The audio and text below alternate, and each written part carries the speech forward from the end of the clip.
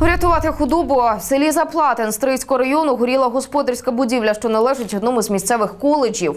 У приміщенні загорілися запаси сіна, а згодом вогонь перекинувся на стайню із тваринами. Полум'я знищило 28 тонн сіна та дах будівлі. Вогнеборці врятували обидві будівлі та 40 голів великої рогатої худоби. Причини та обставини виникнення займання наразі встановлюють.